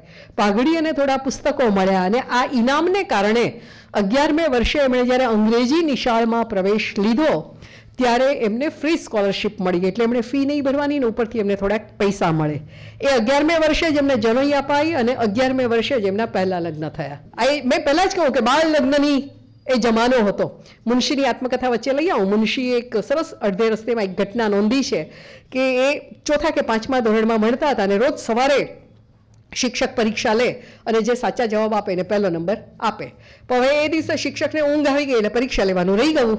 તો સાંજે પહેલો નંબર તો આપવાનો, કારણ કે છોકરાઓ ઘેર જઈને કે કોનો પહેલો નંબર આપ્યો? કરવાનું શું એટલે શિક્ષકે રસ્તો કાઢ્યો. બાર ચૌદ વિદ્યાર્થીઓનો ક્લાસ હતો. ચાલો તમારામાંથી કેટલાના લગ્ન થયા છે? જો ચોથું ધોરણ છે. એક છોકરાએ હાથ ઊંચો કર્યો. તું પહેલો. કેટલા અધરાયા છો? એટલે કે સગાઈ થઈ ગઈ છે. ચાર પાંચ છોકરાએ હાથ ઊંચો કર્યો એટલે એ બીજા, ત્રીજા, ચોથા, પાંચમા. અને જેટલાના લગ્ન પણ નહોતા થયા અને સગાઈ પણ નહોતી થઈ, આ મુનશીના શબ્દો છે, મારા નહીં.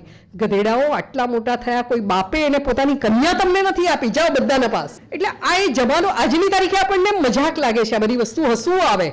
આજે વિદ્યાર્થીઓ બધા યુપીએસસી કે જીપીએસસીની તૈયારી કરે છે. એ લોકો તો જ્યાં સુધી પોતાની કેરિયર નહીં બને ત્યાં સુધી એની કલ્પના પણ નહીં કરે. પણ આ જમાનામાં તો હતું. દીકરી ત્રણ ચાર વર્ષની થઈને લગ્ન ન થાય અને છોકરો સાત આઠ વર્ષનો થઈને અદરાયો ન હોય તો એ તો શરમની વસ્તુ ગણાતી હતી. તો નવલરામના પણ અગિયારમે વર્ષે લગ્ન થયા. પણ દુર્ભાગ્ય દસ જ મહિનામાં એ શિવગૌરી પહેલાં લગ્ન જેની સાથે થયા હતા, એનું મૃત્યુ થયું. એમના શિક્ષકોને એમને માટે બહુ જ માન હતું. એવું કહેતા હતા કે બહુ તેજસ્વી ને બહુ જ હોશિયાર વિદ્યાર્થી છે. લગભગ ચૌદમે વર્ષે એમના બીજા લગ્ન થયા મણિગૌરી સાથે. જે નવલરામનું મૃત્યુ થયું ત્યારે હયાત હતા. એનાથી એમને એક દીકરી અને દીકરો થયા. દીકરી કમળા અને દીકરાનું નામ ધીમતરામ. કમળાની વાત આવી છે એટલે વચ્ચે એક વાત એ કરી લઉં. નવલરામ જ્યારે અમદાવાદમાં ટ્રેનિંગ સ્કૂલમાં અધ્યાપક તરીકે જોડાયા ત્યારે અમદાવાદમાં બાળ લગ્ન નિષેધક મંડળી ચાલતી હતી. નવલરામ એના મંત્રી બન્યા. અને એમણે નક્કી કરેલું કે મારી દીકરી વયમાં નહીં આવે ત્યાં સુધી એના લગ્ન નહીં કરું. છ સાત આઠ વર્ષની વયે તો નહીં. અને કમળા ચૌદ વર્ષની થઈ ત્યાં સુધી એમણે લગ્ન કર્યા નહીં. પણ ચૌદમે વર્ષે મુશ્કેલીમાં મુકાયા. કારણ કે એની ઉંમરનો કોઈ યોગ્ય મૂર્તિઓ મળે નહીં. જે મળે કાં તો અભણ હોય, કાં તો વ્યસની હોય, કાં તો એવા ઘરનું હોય કે જ્યાં દીકરીને અપાય નહીં. અને એટલી બધી નવલરામને ચિંતા થઈ કે હવે દીકરીનું શું કરવું? રાતોની રાતો એમણે ચિંતામાં પસાર કરી છે. અને એ જ વર્ષે એમનો બાળ મિત્ર, જે નવલરામની ઉંમરનો છે, તમે વિચારજો નવલરામની ઉંમરનો છે છત્રીસ વર્ષનો અને દીકરી ચૌદ વર્ષની છે.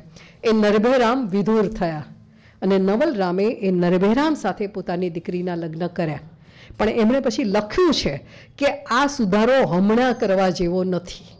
જ્યાં સુધી સમાજ સુધરે નહીં, ત્યાં સુધી આવું કરવાથી દીકરીને વેઠવાનો વારો આવે છે. એમને આ વાસ્તવિક વાસ્તવિકતાનો આ કપરો અનુભવ થયેલો. તો ચૌદમે વર્ષે એમના લગ્ન થયા અને લગભગ સોળ સત્તર વર્ષના થયા હશે, ત્યાં એમનું ભણવાનું પૂરું થઈ ગયું. કારણ કે સુરતમાં એ વખતે મેટ્રિકનો ક્લાસ નહોતો. મેટ્રિકનું ભણવા માટે મુંબઈ જવું પડતું ને આર્થિક પરિસ્થિતિ એવી નહોતી કે ભણી શકે મુંબઈ જઈને. એટલે પછી એમનું ભણવાનું અટક્યું પણ એ જ વર્ષે સુરતની અંગ્રેજી શાળામાં નવમા આસિસ્ટન્ટ તરીકે, એટલે સ્કૂલમાં આઠ શિક્ષક હતા અને આ નવમા શિક્ષક મહિને દસ રૂપિયાના પગારથી જોડાયા. આજે દસ રૂપિયામાં મને કોઈ એક નોટ, એક પેન પણ નથી આપતું, પણ એ વખતે એમનો મહિનાનો પગાર પણ બહુ મોટી રકમ એ ગણાતી હતી. અને ચાર વર્ષ પછી એ સ્કૂલના ચોથા આસિસ્ટન્ટ શિક્ષક બન્યા અને ત્યારે એમનો પગાર હતો સાહીઠ રૂપિયા. અને એ જ વખતે ડીસામાં કામ ચલાઉ હેડમાસ્ટર તરીકે ગયા. આ સ્થિર થયા પછી એમના મનમાં લખવા માટેના વિચાર આવવા માંડ્યા. એકલ સુરા હતા, બહુ મિત્રો નહોતા પણ મનમાં જે વિચાર આવે, એ સતત પોતાની એક ડાયરી જેવું બનાવ્યું હતું એમાં નોંધ્યા કરતા. શરૂઆતમાં સ્વામિનારાયણ સંપ્રદાયમાં માનતા હતા એટલે રોજ એના મંદિરે જતા હતા. પણ વીસેક વર્ષની વયે એમની વિચારધારા શાંકર વેદાંત તરફ વળી અને પછી એ વેદાંતી જ રહ્યા છે. તો પોતાની આસપાસ જે બધું ચાલતું હતું એ અંગે એમના મનમાં બહુ બધા પ્રશ્નો ચાલતા હતા. એમાં પોતે શું કરી શકે એની એમને ચિંતા થતી હતી. પણ નર્મદ જેવા એ એટલા ઉગ્ર નહોતા કે આ લડાઈની અંદર તૂટી પડે. એ બોલે, ભાષણ કરે, એમના સ્વભાવમાં જ નહોતું. એ વર્ષોમાં અઢારસો ને બાસઠની અંદર આજે પેલો મહારાજ જદુનાથ લાયબલ કેસ થયો તો મુંબઈના કેટલાક શેઠિયાઓએ એના પરની એક નિબંધ સ્પર્ધા કરી. અને નવલરામને એવું થયું કે બહાર પડવા માટે મને આ એક મોકો મળ્યો છે. એટલે એમણે બસો પચાસ પાનાની એક કવિતા આ મહારાજ જદુનાથ લાયબલ કેસ પર બરોબર મહેનત કરીને લખીને મોકલી અને એમણે નોંધ્યું છે કે દેશીમાં એ લખેલી હતી. એટલે કે આપણા જે માત્રામેળ છંદ છે, પ્રેમાનંદ ને એ બધા જે વાપરતા હતા, એમાં એમણે લખી. અને એ, એને ખબર હતી કે નિર્ણાયક કોણ છે, પરીક્ષકોના નામ પણ આવી ગયેલા, નર્મદ અને દલપતરામ. તો એમણે નર્મદને એક પત્ર લખ્યો. અને એમાં એમને લખ્યું કે આ કવિતા જ્યારે છપાશે ત્યારે હું તમને અર્પણ કરવા ઈચ્છું છું. અને નવી પેઢીના તમે તમારા પહેલા વિવેચક તરીકે હું મારી જાતને સ્થાપિત કરવા ઈચ્છું છું. જો હજી અઢારસો ચોસઠમાં એમણે કશું લખવાનું શરૂ નથી કર્યું, પણ ત્યાં એમણે કહું, નવી સ્કૂલ, ન્યૂ સ્કૂલ એમણે શબ્દ વાપર્યો છે કે નવી પેઢીના નવા સર્જક તરીકે તમારો ઉદય થઈ રહ્યો છે અને એના પહેલા વિવેચક તરીકે હું મારી જાતને સ્થાપિત કરવા ઈચ્છું છું. પણ નર્મદે ટાઢું પાણી નવલરામને રેડી આપ્યું. પત્રના જવાબમાં એમણે લખ્યું કે હજી તો કાવ્ય લખાયું એટલે છપાયું નથી ત્યાં તમે એમ કે પેલું ભેંસ ભાગોળે ને છાશ છાગોળે જેવી વાત શું કરો છો? અને નવી પેઢીના વિવેચક વિશે પણ એમણે કોઈ જવાબ ન આપ્યો. અને નવલરામે એક શબ્દ પૂછ્યો હતો કે સચ ટાઈપ્સ ઓફ સ્કૂલ એનું ગુજરાતી શું કરવું મને મળતું નથી? તો નવલરામને નર્મદે એવું લખ્યું કે એવું કંઈ ગુજરાતી કરવાની જરૂર નથી. એટલે પ્રોત્સાહન નહીં મળ્યું અને કોઈ પ્રકારનું એમને એવું ન લાગ્યું કે નર્મદ તરફથી પોતાને આગળ વધવા માટે કંઈ પ્રેરણા મળે છે. જેણે આ સ્પર્ધા કરી હતી, એને પત્ર લખ્યો, તો એ લોકોએ પછી છેલ્લે જવાબ આપ્યો કે તમને અડધું ઇનામ આપવાનું નક્કી કર્યું છે. મેં પહેલાં કહ્યું હતું કે સ્વભાવ થોડો વધારે તામસી હતો. તો પહેલાં એ પુસ્તકનું કહ્યું હતું કે પુસ્તક બગાડ્યું તેને ઠપકો આપ્યો એટલે એની ચોપડી નહીં લેવાનું નક્કી કર્યું. અડધું ઇનામ કેમ આપો છો? નથી જોઈતું, જાઓ. અડધું ઇનામ લેવાની એમણે ના પાડી દીધી. પણ એમને નર્મદનો જે અનુભવ થયો અને અર્ધું ઇનામ મળવાની જાહેરાત થઈ, ત્યારથી એમણે પોતાની નોંધમાં નોંધેલું કે ભવિષ્યમાં પોતે નવા જે ગ્રંથકારો હશે, એને પ્રોત્સાહન આપવાનું કામ કરશે. અને એટલે ગુજરાત શાળાપત્રના જ્યારે તંત્રી બન્યા, ત્યારે એમણે જે પણ ચાર પાનાનું ચોપાનિયું આવ્યું હોય ને, તો એના વિશે પણ એમણે લખવાનું કામ કર્યું છે. અઢારસો ને છાસઠમાં એમણે બે લેખથી પોતાની લેખનની શરૂઆત કરી. એક હિન્દુસ્તાનની વર્તમાન સ્થિતિ અને બીજું ગ્રંથકારનો વ્યવસાય. મને આ ગ્રંથકારનો વ્યવસાયમાં વધારે રસ પડ્યો. એમાં એમણે લખ્યું છે કે સુથાર હોય ને, એ પહેલાં કોઈ બીજા સુથારને ત્યાં જાય, થોડા વખત એની પાસે શીખે, લાકડું વહેરે અને પછી એ કોઈને ત્યાં સ્વતંત્ર કામ કરવાનું શરૂ કરે છે. તો ગ્રંથકારે પણ સીધે સીધું લખવાનું ન હોય. એણે પહેલાં આ વ્યવસાયમાં આવતા પહેલાં કેટલી બધી તાલીમ લેવાની હોય. પણ કે એને માટેનો અવકાશ જ ક્યાં છે? કારણ કે જે જુવાનિયાઓને નવા નવા ગ્રંથ લખવા છે, એનો આખો દિવસ તો ઘરકામમાં એટલે કે નોકરીમાં જતો રહે છે. પછી ઘેર આવીને ઘરખટલાની કેટલી બધી તાણ હોય છે, એમાં બિચારો ક્યારે લખવા બેસે? જ્યારે આપણે ગ્રંથકારને સ્વતંત્ર વ્યવસાયી તરીકે સ્વીકારીશું ત્યારે ગ્રંથકાર આ બધું લખી શકશે. અને આ અઢારસો ને છાસઠમાં લખેલા શબ્દો છે, જેની નીચે હું લીટી દોરું છું કે આપણે ત્યાં પુસ્તક વાંચવાનો મહિમા જ નથી. બે હજાર બાવીસમાં આ વાત એટલી જ સાચી છે. હા? એ વાત એટલી જ સાચી છે. આપણી લાઇબ્રેરીઓ ખાલી હોય છે ને થિયેટરો ભરેલા હોય છે. થિયેટરની સામે વિરોધ છે એવું નથી, પણ આપણને વાંચવાનું નથી ગમતું. આપણે પુસ્તક મેળામાં શું ખરીદાય છે આપણને ખબર છે. નવલરામ ગંભીર ગ્રંથો માટે થઈને આ વાત કરે છે. અઢારસો ને સડસઠમાં પહેલું કૃતિ વિવેચન નવલરામ કરે છે. અને એ છે ગુજરાત મિત્ર નામનું, અત્યારે પણ જે વર્તમાનપત્ર નીકળે છે, એમાં કરણ ઘેલો એક વાર્તા. એ નામથી એમણે ગુજરાતી ભાષામાં પણ પહેલું કૃતિ વિવેચન કર્યું છે. નર્મદે કવિ અને કવિતા એ નામથી અઢારસો ને અઠ્ઠાવનમાં એક નિબંધ લખ્યો. ત્યારથી ગુજરાતીમાં વિવેચન શરૂ થઈ ગયું. પણ કૃતિ વિવેચન પહેલું નવલરામ આપણે ત્યાં કરે છે. નર્મદની જે વિવેચનની વિભાવના હતી કાચી હતી. હેઝલિટ અને શેલી નામના બે અંગ્રેજ કવિ અને મીમાંસકો એની પાસેથી એ કેટલીક સંજ્ઞાઓ લઈ આવ્યો. દાખલા તરીકે પેશન્સ. તો એનું એણે ગુજરાતી કર્યું જોસ્સો. એને સંવેદના કે ઉર્મી એ શબ્દ નહીં મળ્યા. અને ઇમેજિનેશન આપણે જેને અત્યારે કલ્પના કરીએ છીએ, કહીએ છીએ, એનું ગુજરાતી એણે કર્યું તર્કશક્તિ. અને નર્મદે એક બહુ મોટી ભૂલ કરી હતી જે એના સમકાલીનોએ પણ કરેલી. એને એમ કે પેશન મેળવવા માટે થઈને મનમાં ખળભળાટ મચવો જોઈએ. તે કઈ રીતે મચે? કેફી પદાર્થોનું સેવન કરવું. નર્મદ હંમેશા ભાંગ, ભાંગના પાક, એ બધાનું સેવન કરતો.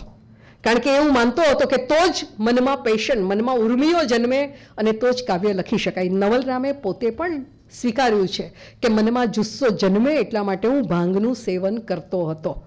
તો નર્મદ એની જે વિભાવના છે એ અંગ્રેજી સાહિત્યને, અંગ્રેજી વિવેચનને આધારે આવી. પણ નવલરામે શું કર્યું કે એમની જે વિવેચના છે માત્ર અંગ્રેજી વિવેચનને આધારે નથી આવી. એમણે સંસ્કૃત સાહિત્યનો પણ એટલો જ અભ્યાસ કર્યો. અને પહેલી વખત આપણે આજે જેની વાત કરીએ છીએ એ ઓર્ગેનિક યુનિટીની વાત. કવિતાની રચના રીતિની વાત. કવિતામાં માત્ર ભાષા સારી હોય એ નથી પૂરતું, વિષય વસ્તુ સારું હોય નથી પૂરતું, પણ એના એક એક અંગ એટલે કે એની ભાષા, એના વર્ણનો, એના પાત્રો, એની ઘટના, એની રચના રીતિ, આ બધા અંગ સર્વાંગ સંપૂર્ણ હોવા જોઈએ. યોગ્ય રીતે યોગ્ય જગ્યામાં ગોઠવાયેલા હોવા જોઈએ. તો ઉત્તમ કૃતિ રચાય એવી વાત નવલરામે કરી. પણ એમને ઓર્ગેનિક યુનિટી એ શબ્દ નહોતો મળ્યો. એમણે એને માટે અખંડ લહેરી એવો શબ્દ વાપર્યો છે. એમણે કહ્યું કે શામાની વાર્તાઓ છે ને ખંડ લહેરી છે. વચ્ચે વચ્ચે તૂટતી જાય છે. પ્રેમાનંદના આખ્યાનો અખંડ લહેરી છે. તમને સળંગ કૃતિની સુંદરતાનો અનુભવ કરાવે છે. તો ગુજરાતી વિવેચન આજે જે ઓર્ગેનિક યુનિટીની વાત કરે છે, એના મૂળ નવલરામમાં પડ્યા છે એ આપણે નોંધવું જોઈએ. એમણે વિવેચન શરૂ કર્યું એની સમાંતરે. એમનું સર્જન પણ ચાલ્યું છે. સૌથી પહેલું એમનું જે નાટક પ્રગટ થયું એ ભટ્ટનું ભોપાળું. મેં પહેલાં જે વાત કરી, હાસ્યરસનું નાટક, અને નર્મદને એવું લાગ્યું કે આ બહુ વધારે પડતું બોલકું નાટક છે. અને નવલરામે એમને પત્ર લખ્યો ને લખ્યું કે કવિ, તમે હાસ્યનું શાસ્ત્ર સમજતા જ નથી. અને પછી એણે એટલા બધા ઉદાહરણો આપ્યા કે હાસ્ય હોય એમાં અતિશયોક્તિ હોય, તો એ અંગ્રેજી સાહિત્યથી માંડીને સંસ્કૃત સાહિત્યના ઉદાહરણ આપ્યા. અને એ પત્રમાં એમણે જે વાત લખી હતી એ પછી નવલરામના ઉત્તમ વિવેચન લેખ તરીકે ઓળખાય છે. હાસ્યરસ અને અદ્ભુત રસ. પત્ર રૂપે લખાયો હતો, પણ પછી એ શાળા પત્રમાં પણ છપાયો હતો. એમણે નાટક વીરમતી પહેલાં લખેલું. પણ એ એમની જે સંકોચશીલ સ્વભાવ હતો એટલે એમણે રાખી મૂકેલું. ભટ્ટનું ભોપાળું મુંબઈના એક પારસી નાટ્ય કંપનીએ ભજવ્યું અને એમાં નવલરામને સારી કમાણી થઈ. પછી એમને જરા આત્મવિશ્વાસ વધ્યો એટલે વીરમતી નાટક એમણે પ્રકાશિત કર્યું. અમદાવાદમાં જ્યારે આવ્યા સુરતથી બદલી થઈને અહીંયાની ટ્રેનિંગ કોલેજમાં મહીપતરામ નીલકંઠની સાથે જોડાયા અને મહીપતરામ નીલકંઠ એ વખતે ગુજરાત શાળાપત્ર નામનું સામયિક ચલાવતા. શિક્ષકોની તૈયારી માટે શિક્ષકોએ કેવી રીતે ભણાવવું જોઈએ ને એવી બધી માહિતી એમાં આપવામાં આવતી. એનું તંત્રીપદ એમણે નવલરામને આપ્યું. અને નવલરામના મનમાં બહુ વર્ષોથી એક ઝંખના હતી કે ત્રૈમાસિક શરૂ કરવું. તો એ ઝંખના જાણે કે આ સામયિક દ્વારા પૂરી થઈ. એટલે એમણે પછી નક્કી કર્યું કે હવે આ સામયિકનો ઉપયોગ ઉત્તમ સામયિક બને એ માટે કરવો. એટલે દર અંકમાં કોઈ એક પુસ્તક વિશે એમણે પરિચય કરાવવાનું શરૂ કર્યું. આ દરમિયાન જ પેલું બાળ લગ્ન નિષેધક મંડળીના એ મંત્રી બન્યા હતા.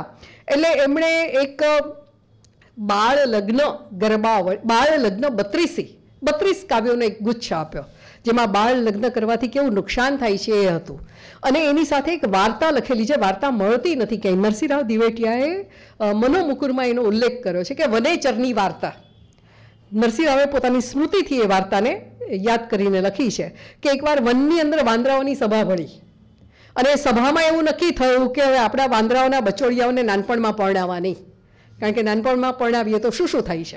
અને એ વાર્તામાં એટલો બધો એમણે એમ કે હાસ્યરસ નિપજાવેલો કે પેલો એક વાંદરો ઝાડ પરથી કૂદીને નીચે આવે ને કે ના, હું તો પરણાવીશ ને બીજી વાંદરી એની સામે થઈ જાય ને. આવા બધા વર્ણનો એમણે કરેલા.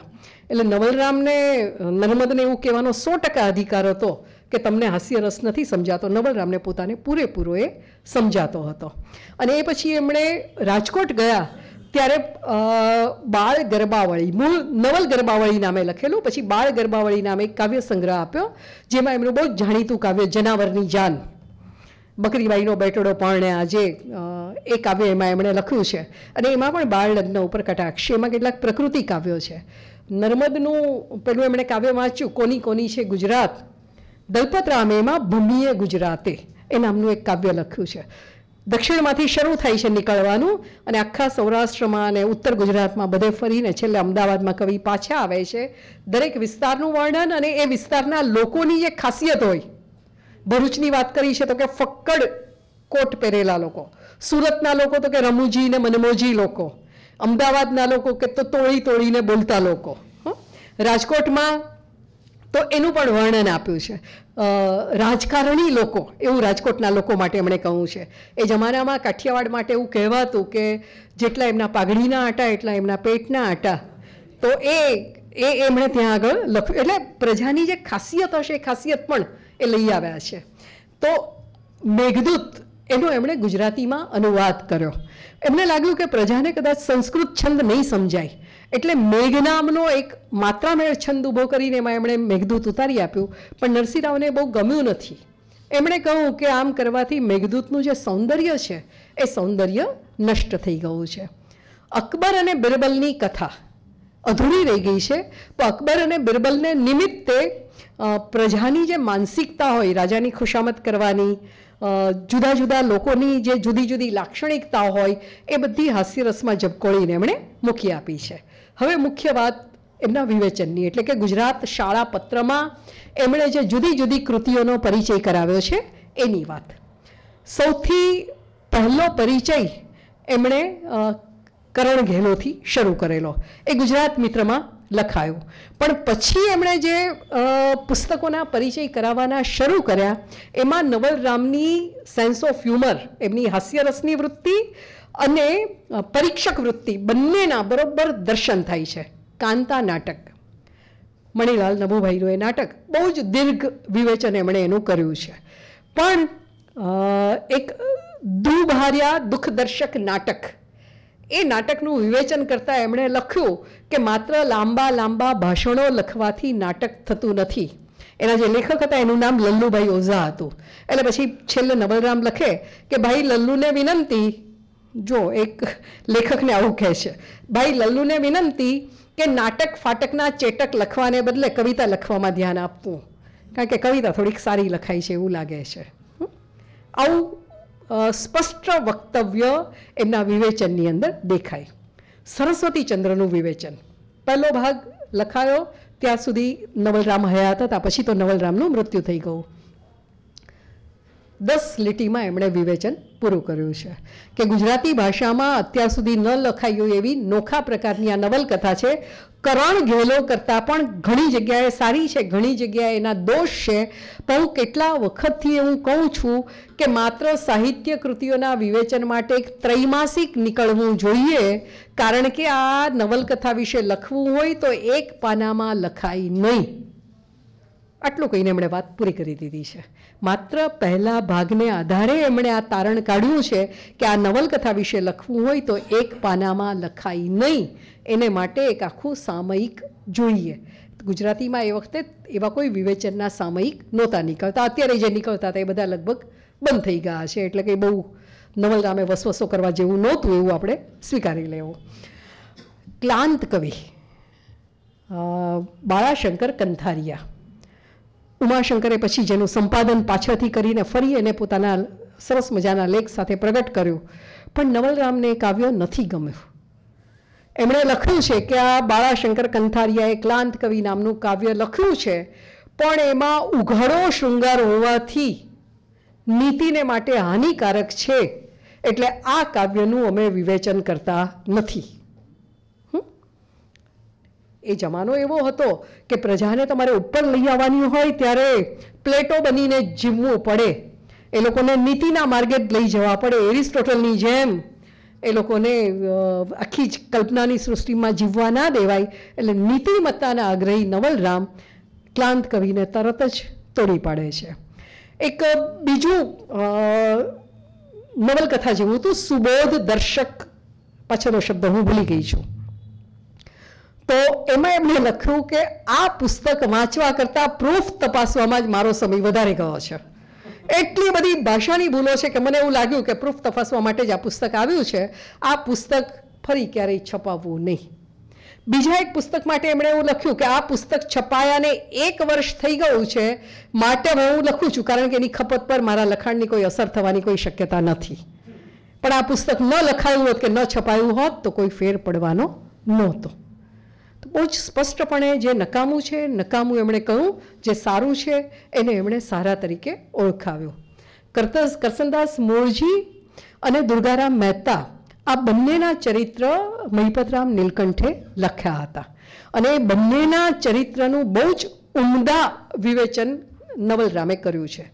કરસનદાસ મૂળજીના ચરિત્રનું વિવેચન કરતી વખતે એ લખે છે કે, આપણે ત્યાં આવી રીતે કોઈના ચરિત્ર લખવાનો રિવાજ નથી. અને પરિણામે આપણે કોઈ સારા દ્રષ્ટાંત જોવા હોય, એમણે મહત દ્રષ્ટાંત શબ્દ વાપર્યો છે કે મહત વ્યક્તિના દ્રષ્ટાંત જોવા હોય, તો આપણે યુરોપ તરફ નજર નાખવી પડે છે. પણ આવા ચરિત્ર લખાશે તો આપણને ખબર પડશે કે આપણી આસપાસ પણ આવા કેટલા બધા દીવડાઓ પ્રકાશી રહ્યા છે. તો જો બહાર જોવા કરતાં આપણી આસપાસ જોઈએ તો આપણને ઘણું બધું મળી શકે એમ છે. દુર્ગારામ મહેતાનું ચરિત્ર જે એમણે લખ્યું, એટલે મહિપતરામે લખેલું, એનું વિવેચન કરતાં છેલ્લે નવલરામ એવું લખે છે કે આપણે એવું માનીએ છીએ કે અંગ્રેજી ભણીએ તો જ આપણી બુદ્ધિ વધે, આપણને નવા વિચારો આવે અને આપણે નવું જોઈ શકીએ. પણ આ માત્ર ગુજરાતી ચોપડીઓ ભણેલો ડોસો એણે પોતાના જીવનમાં કેવું કર્યું છે વાંચ્યા પછી આપણને અંગ્રેજી ભાષાનો મોહ નહીં રહે. સરસ, એટલે અહીંયા કોઈ આપણે અંગ્રેજીને ઉતારવી પાડવી છે એવું નથી. પણ નવલરામ, મેં પહેલાં કહ્યું ને કે એક પરીક્ષકની દ્રષ્ટિથી કોઈ પણ પુસ્તકને કે અંદરના લખાણને તપાસતા જાય છે. કેટલાક એમણે ચિત્રો આપ્યા છે શબ્દ ચિત્રો આપ્યા છે. એમાં એક નર્મદ વિશેનું છે, એક દલપતરામ વિશેનું છે, એક પ્રેમાનંદ વિશેનું છે. શરૂઆતમાં એમને શામળ પ્રેમાનંદ કરતાં વધારે ચડિયાતો સર્જક લાગતો હતો. પણ પછી જેમ જેમ પ્રેમાનંદમાંથી એ પસાર થતા ગયા, એમ એમને લાગ્યું કે પ્રેમાનંદ જેવો ઉત્તમ કવિ એકે નથી. એમણે મહાકવિ શબ્દ વાપર્યો છે અને એમનું એક બહુ જાણીતું વિધાન છે, ખાસ કરીને રસની વાતમાં, કે રસની વાતમાં પ્રેમાનંદના પેગડામાં પગ ઘાલી શકે એવો કોઈ પણ ગુજરાતી કવિ હજી સુધી પેદા થયો નથી. તાક્યું તીર તાકનારો તો પ્રેમાનંદ જ. એ ધારે ત્યારે આપણને હસાવે છે, ધારે ત્યારે રડાવે છે અને ધારે ત્યારે શાંત રસના ઘરમાં લઈ જઈને બેસાડે છે. પ્રેમાનંદને નિમિત્તે એમણે મામેરુની ચર્ચા કરી છે. કઈ રીતે એમાં સમાજ જીવન આવે છે, પ્રેમાનંદ એમાં કઈ રીતે પાત્ર ઉપસાવતા જાય છે, એ એટલી ઝીણવટથી નવલરામે ચર્ચા કરી છે કે આજે પણ આપણને એવું લાગે કે કોઈની એક કૃતિને જોઈએ, કે કોઈ એક સર્જકને તપાસવું હોય તો કઈ રીતે તપાસવો જોઈએ, એ આપણને એ, એનો એક ઉત્તમ નમૂનો કર્તાલક્ષી વિવેચનનો ઉત્તમ નમૂનો નવલરામ ત્યાં આગળ આપે છે. નર્મદની કવિતા વિશે અને નર્મદના જીવન ચરિત્ર વિશે કવિ જીવન નામનો એમણે બહુ જ મોટો લેખ કર્યો હતો, જે પછી ગોવર્ધન રામે સંપાદિત પણ કર્યો. તો એમાં પણ એમણે નર્મદના સમયની વાત કરતાં નર્મદની મર્યાદાઓ પણ એમણે ચિંધી બતાવી છે. પણ નર્મદ માટે એમને હંમેશા બહુ માન રહ્યું છે. નર્મદ સાથે એમને વિવાદો પણ થયા છે. એમને કહ્યું પણ ખરું કે કવિ તમને હાસ્યનું શસ્ત્ર સમજાતું, હાસ્યનું શાસ્ત્ર સમજાતું નથી. ક્યાંક એમની નબળાઈઓ હતી, એ ચિંદી બતાવી. તો પણ એમને એવું લાગે છે કે આ જમાનાનો, પોતાના જમાનાનો ઉત્તમ કવિ તો નર્મદ જ છે. કેટલાક પ્રકીર્ણ લેખ એમણે લખ્યા છે. આજની ભાષામાં પ્રકીર્ણ છે. પણ એ જમાનાને ને આજના જમાનામાં પણ એ બરોબર લાગુ પડે એવા છે. સૌથી પહેલો એક લેખ છે, હિન્દુસ્તાનમાં એક ભાષાની અનિવાર્યતા. અત્યારે પણ આપણને એવું લાગે કે આ વાત બહુ જ એટલી જ યોગ્ય છે. એમણે એક સરસ વાત કરી કે આપણે અત્યાર સુધી જુદી જુદી ભાષાઓથી જોડાયેલા હતા. પણ હિન્દુસ્તાની, એટલે કે આપણે જેને આજે હિન્દી કહીએ છીએ, એવી ભાષા હતી કે જે પોણા ભાગના હિન્દને જોડવાનું કામ કરતી હતી. અંગ્રેજો આવ્યા એટલે આપણે અંગ્રેજીની મદદથી એકબીજા સાથે જોડાઈ રહ્યા છીએ. પણ પારકી ભાષા ક્યારેય આપણને એકબીજા સાથે જોડવાનું કામ ન કરી શકે, એ તો પોતીકી ભાષા જ કરે. એક ભાષા એવી હોવી જોઈએ જે સમગ્ર હિન્દને જોડવાનું કામ કરતી હોય. બહુ જ એમણે એની પર મહત્ત્વ એનું સ્વીકાર્યું છે ને એની પર એમણે બહુ જ ભાર મૂક્યો છે. બીજી વાત સ્વભાષાનું મહત્ત્વ એમણે કહું અને મને આ વાતની નહોતી ખબર. આ જ્યારે વાંચ્યું ત્યારે મને ખબર પડી. હું એવું માનતી હતી કે એ જમાનામાં દસમા, અગિયારમાં ધોરણ સુધી તો ગુજરાતીમાં જ ભણવાનું, એટલે ગુજરાતી વિષય તો ભણવાનો આવતો જ હશે. પણ નવલરામે કહું કે અત્યારે આપણે સ્વભાષાની સાવ છેદ ઉડાડી દીધો છે. ચોથા ધોરણ પછી તો આપણે ગુજરાતી ભણતા જ નથી. ચોથા ધોરણ સુધી ગુજરાતી ભણીએ છીએ, પછીનું બધું જ આપણે અંગ્રેજીમાં ભણીએ છીએ. અથવા તો એક પ્રશિષ્ટ ભાષા ભણીએ છીએ, જેમાં ક્યાં તો સંસ્કૃત હોય છે, ક્યાં તો ફારસી હોય છે, ક્યાં તો ફ્રેન્ચ કે જર્મન કે એ ભાષા હોય છે. એનું પરિણામ એ આવે છે કે આપણો મેટ્રિક થયેલો જુવાનીઓ પાંચ વાક્ય ગુજરાતીના લખી શકતો નથી. કારણ કે એ તો બધું અંગ્રેજીમાં જ ભણીને આવ્યો છે. આ જ્યારે વાંચ્યું તો મને સુમંત મહેતા ગોવર્ધન રામ, કાંત બધા યાદ આવ્યા. ગોવર્ધન રામની પોતાની જે સ્ક્રેપબુક છે, ડાયરી છે અંગ્રેજીમાં લખાઈ છે. કાંત અને બકર ઠાકોર કે કાંત ને રમણભાઈ નીલકંઠ એકબીજાને પત્ર લખતા હતા અંગ્રેજીમાં લખતા હતા. સુમંત મહેતા અને શારદાબેન મહેતાના લગ્ન થયા. અઢારસો ને નવ્વાણુંમાં અમદાવાદમાં જ આટલા, આ વિસ્તારમાંથી જ ક્યાંક એમની શોભાયાત્રા નીકળી હશે. અને એમણે લખ્યું છે પોતાની આત્મકથામાં કે અમે પતિ પત્ની બંને ઉઘાડે મોઢે બેઠા હતા અને દોઢ કલાકની એ શોભાયાત્રા દરમિયાન એકબીજા સાથે વાતો કરતા રહ્યા. આ વાતો માત્ર અંગ્રેજીમાં જ થતી હતી. બંને ગુજરાતી હતા. પેલું ત્યારે નહોતું સમજાયું. પછી જ્યારે વાંચ્યું ત્યારે ખબર પડી કે ચોથા ધોરણ પછી તમે અંગ્રેજીમાં જ ભણ્યા હો. બધું લખવાનું અંગ્રેજીમાં જ હોય તો સ્વાભાવિક રીતે અત્યારના અંગ્રેજી માધ્યમના બાળકો જે ખોટું અંગ્રેજી ને ખોટું હિન્દી ભેગું કરીને બોલે છે એ લોકો એ જ રીતે એ વખતે અંગ્રેજીમાં વાત કરતા હશે. નવલરામ એની ઉપર બરોબર ટકોર કરે છે કે છેલ્લે સુધી ગુજરાતી એક ભાષા તરીકે, ગુજરાતી એટલે કે જે તે પ્રદેશની ભાષા એક ભાષા તરીકે ભણાવી જોઈએ. નહીં તો પરિસ્થિતિ એવી આવશે કે પચીસ વર્ષ પછી અત્યારે ગુજરાતીમાં જે લખાયું છે, વાંચવાવાળું કોઈ જ નહીં રહ્યું હોય.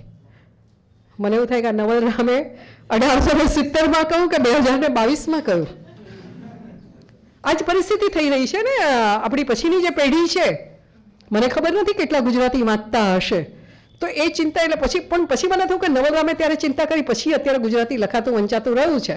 તો આપણે બહુ નિરાશ થવાની જરૂર નથી. પછી પણ લખાતું ને વંચાતું તો રહેવાનું જ છે. પણ એમણે આ ચિંતા કરી છે.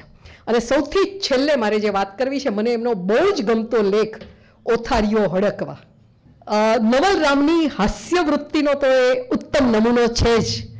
પણ મને એવું થાય કે નવલરામને ક્યારેય ખબર નહોતી કે ભવિષ્યમાં ફેસબુક આવવાનું છે સોશિયલ મીડિયા આવવાનું છે અને એટલું બધું લોકો એની પર કવિ બની જવાના છે ને વાર્તાકાર બની જવાના છે ને આ ફિક્શન ને તે ફિક્શન ને બધું લખવાના છે.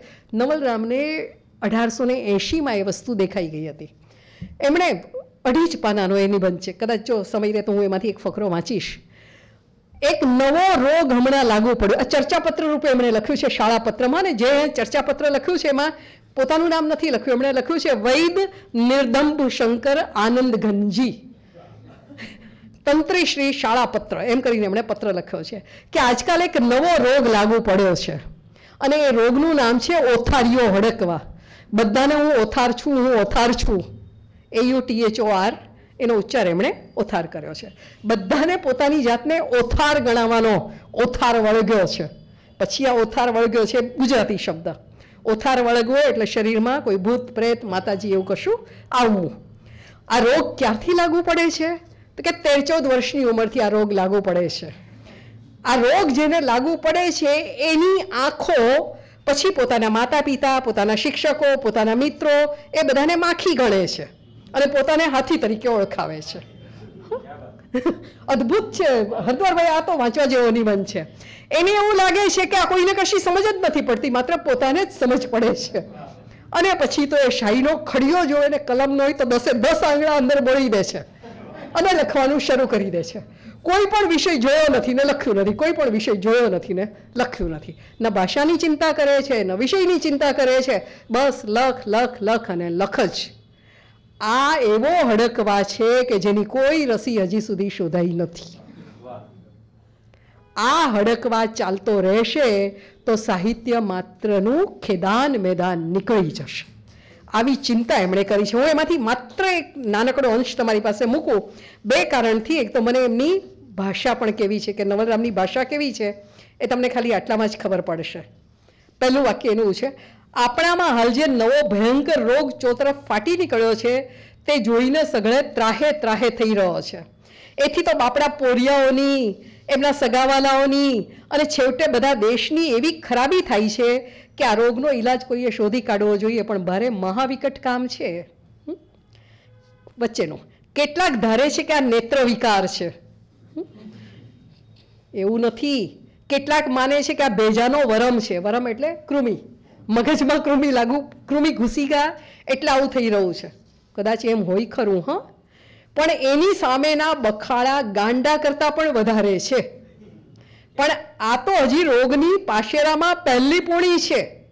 હજી તો આ રોગને બહુ સનેપાત કહી શકીએ એવું તમને દેખાવાનું છે.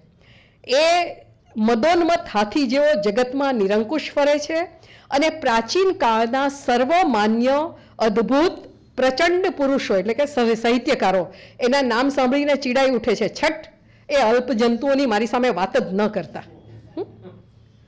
ખડિયો દીઠો કે ધાઈને બાજે છે. પાસે કલમ મળે નહીં તો દસે આંગળા એમાં બોળી દે છે ને લખવાનું શરૂ કરી દે છે. પણ જેના જીવનું ઠેકાણું નથી, એના હાથ શું કામ કરવાના? એટલે સર્જક માટે માત્ર જુસ્સો હોવો પૂરતું નથી બધું જ જોઈએ ભાષા, કલ્પના શક્તિ અને સૌથી મોટી સ્વસ્થતા. આ બધું જ નવલરામ અહીંયા આગળ કહી દે છે. આ ભાઈનું સ્વરૂપ આફ્રિકાના ઉરાંગ ઉટાંગથી પણ વધારે વિચિત્ર દેખાય છે. સારું છે કે હજી લોકોના જોવામાં એની ચેષ્ટા નથી આવી, નહીં તો ગાંડાની ઇસ્પિતાલમાં એને પુરાવ્યા વિના રહે નહીં.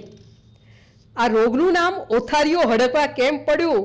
એ તમારે જાણવું જોઈએ. તો સાંભળો, આ રોગની આખરી અવસ્થામાં દર્દી, હું ઓથાર હું ઓથાર, એમ બરાડ તો આખા ગામમાં ફર્યા કરે છે. એના નામ પરથી આ ઓથારીઓ હડકવા નામ પડ્યું છે એવું કહેવાય. આ ઓથારીઓ હડકવા સઘળી ગાંડાઈમાં પણ પરમ ગાંડાઈ ગણાય છે. પણ લ્યો આ કલમ ફેંકી દીધી, મરજી હશે તો બાકીનું પછી, નહીં તો રામ રામ.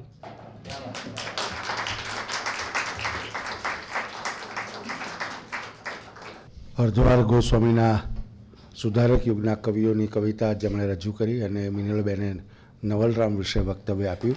આપણને કંઈ વિશેષ પ્રાપ્તિ થઈ હોય તો બંને મહાનુભાવોનું ખૂબ તાળીથી આપણે અભિવાદન કરીએ. આપ સૌ સમય ખર્ચીને આવ્યા, એ માટે આપનો આભાર. આ કાર્યક્રમની નોંધ જે કે ગુજરાતી અંગ્રેજી અખબારો લીધી. તમામ અખબારોના તંત્રશ્રી, રિપોર્ટરશ્રી, ફોટોગ્રાફરશ્રીનો આભાર. અને આ કાર્યક્રમ સાહિત્ય પંચામૃત માટે આપણે ખાસ એક મગ બનાવ્યો છે, જેમાં મધ્ય યુગથી માંડીને અનુઆધુનિક યુગના પ્રતિનિધિ સર્જકોનો કોલાજ કરીને સ્મૃતિ ચિહ્ન સૌનું બની રહે સર્જકો થકી. એ માટે વેચાણ માટે એકસો પચાસ રૂપિયાની કિંમતથી એ મળી શકશે, જેનો લાભ લેવા વિનંતી. આમ તો નિયમિત રીતે હોમ કોમ્યુનિકેશન દ્વારા દર મહિને આપણે બેથી ત્રણ કાર્યક્રમ કરતા હોઈએ છીએ, પણ ક્યારેય દાનની અપીલ કરતા નથી. અને સંસ્થા જે કંઈ સાહિત્ય પ્રવૃત્તિ કરે છે, માત્ર દાન દ્વારા મળતી રકમમાંથી જ કરતી હોય છે. તો આવા જ્યારે પાંચ દિવસના કાર્યક્રમ થતા હોય છે, ત્યારે અમે દાનની અપીલ કરીએ છીએ, જેને ન્યાય આપશો. એક સમૂહ તસવીર લીધા બાદ કાર્યક્રમ પૂર્ણ જાહેર થશે. બહાર ચા કોફીની વ્યવસ્થા છે, એમને ન્યાય આપશો. પુનઃ આપ સૌ સમય ખર્ચીને આવ્યા, એ માટે આપનો આભાર.